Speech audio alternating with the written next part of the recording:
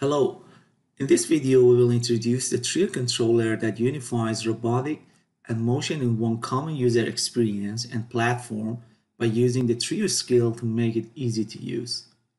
The aim is to integrate robotic into the motion core and providing one control platform for the machine, motion, and robotic.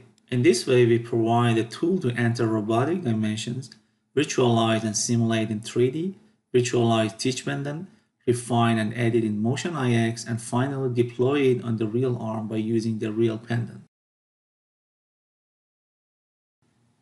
This video shows a 13-axis control platform include two SCARA robots, a conveyor axis, two-axis cam control, and two rotary axes, all controlled by a Flex-6 Nano controller over EtherCAT as well.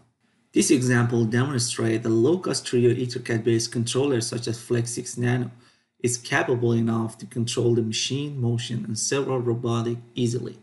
Thanks for your attention. I hope you found this video useful for you.